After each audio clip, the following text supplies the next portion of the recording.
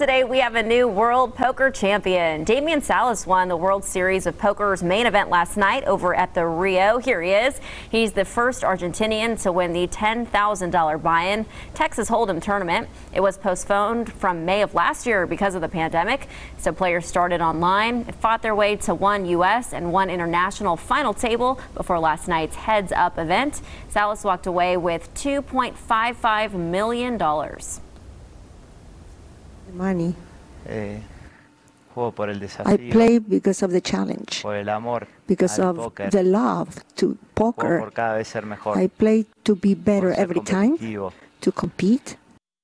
Well, the money isn't too bad for him either. He did outduel U.S. champ Joseph Hebert, who took home a little more than $1.5 million. So congrats to both of them.